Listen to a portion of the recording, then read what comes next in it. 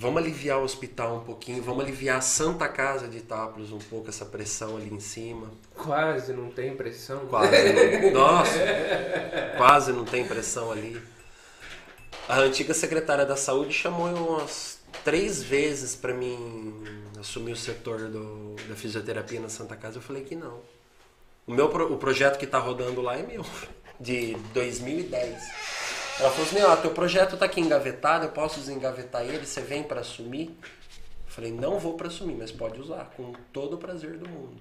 Hoje tem pelo menos três fisioterapeutas rodando o turno lá dentro. Isso daí, eu colo... Isso daí a minha ideia era em 2010 com a secretária antes da do Edmir. Aí, tipo, ah, não pode. Ela contratou um cara pra administrar na época, ah, não pode gastar, isso daí é muito gasto, não sei o que, não sei o que lá. Eu falei, porra, tá bom então. Fica entubando os pacientes aí. Físio respiratório, motor. Isso na época da física, eu tinha uma visão ainda de fisioterapeuta em 2010.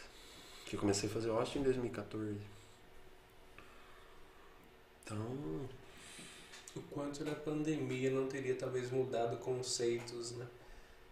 Putz, muito, muito, muito, muito.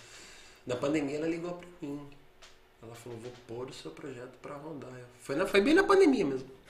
Falei, pode pôr, eu não vou. não quero esse rojão aí não. Aí começou a funcionar. Hoje tem três, três fisioterapeutas rodando lá dentro. Bacana, top, tora o pau. Eu não quero ficar lá dentro, não. Pressão do caramba. Deixa eu quietinho na minha clínica. trabalhando na minha paz. De vez em quando os pacientes já tiram o sono, que eu não... por causa que falta os 10%, você imaginou lá dentro daquilo. Uma